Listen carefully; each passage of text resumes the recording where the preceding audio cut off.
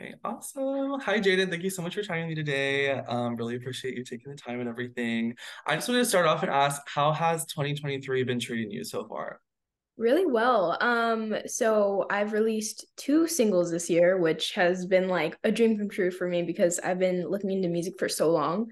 Um, and just like I've been baking a lot more, hanging out with friends and family, and it's just been a really like comfortable year. I love it. Yeah, I read in your bio that you love baking. Is there anything like that you love to bake like recently? Yeah, so cheesecake is actually my specialty. So I make uh, gourmet cheesecakes and sell them to like friends and family and stuff. And um, I've been doing apple pies and stuff recently too. Oh my gosh, multifaceted, talented everywhere. I love it.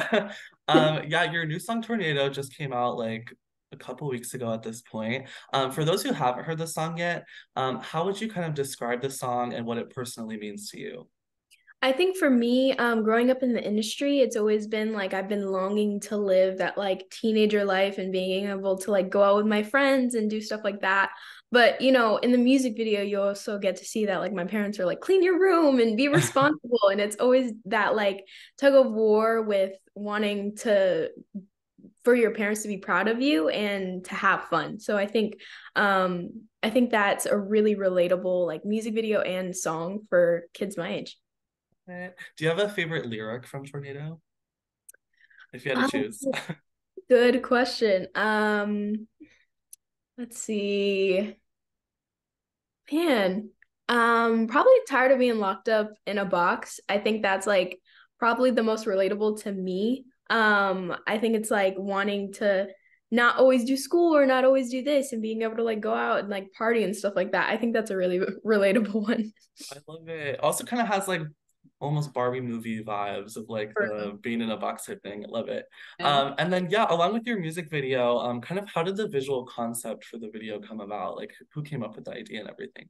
Yeah, so me and my dad and uh, Prime Cut, they directed all four of the music videos that um two more will be coming out later. Um, but yeah, we all just kind of got together and came up with a, this idea of like a house party. And um I actually snuck out of my actual bedroom. So in the music video, it's my actual Oh. bedroom. And my bedroom is on the second story, and they had to take out the the screen of the window. And I was so nervous because all I had to do was put my leg out of the window and like Yeah. but it was so nerve-wracking because I was like, bro, what if I fall? Yeah, but the idea Um, was um it was it was really fun because I got to invite like a lot of my friends to my house and it was like lights, balloons. It was just so much fun.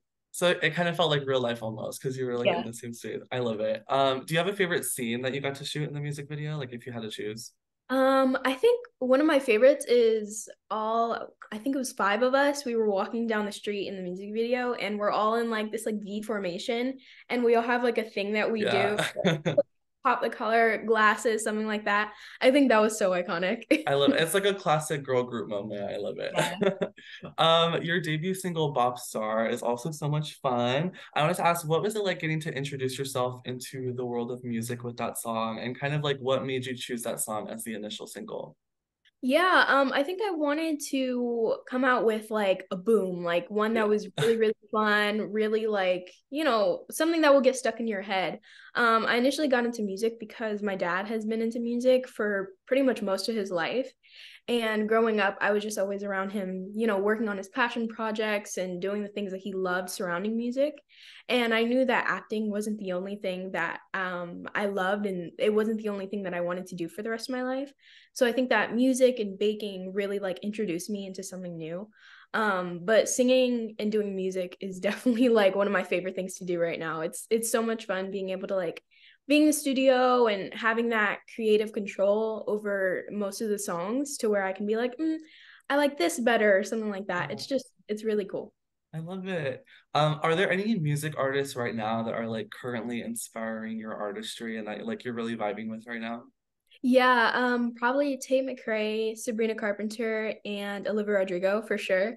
Um, their new album Guts was iconic and it It's was amazing. Um, and then Emails I Can't Send, that entire album by Sabrina was amazing as well. So I think all three of them really just like spoke to me with their music and their tone and the things that they sing about. It's just really cool.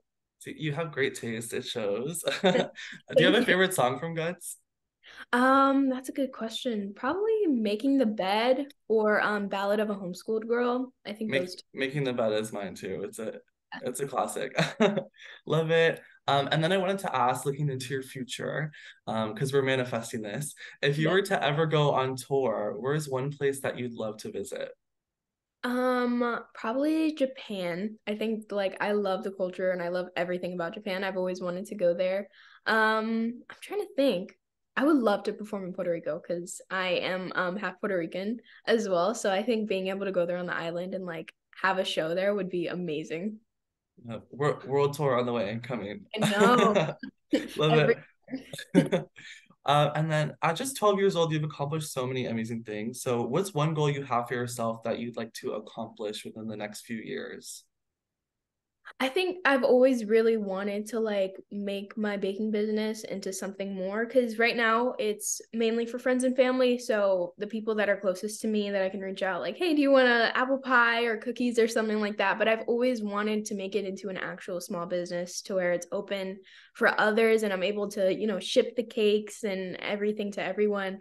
Um, that has always been like a dream of mine. And then to continue with music as well. Like I have my next single coming out next month. It's called Gone with the Wind. Um, and that is probably one of my favorites coming out. Um, it is definitely slower than my other songs, but it means so much to me. And um, it just has a lot to do with like mental health and everything like that. And that is something that I love to speak about and something that I talk about a lot. Um, so yeah, just more music, more baking, and just getting to, you know, like boost my baking business a little bit more. I love it. You're you're an entrepreneur already, like you're killing it. Yeah.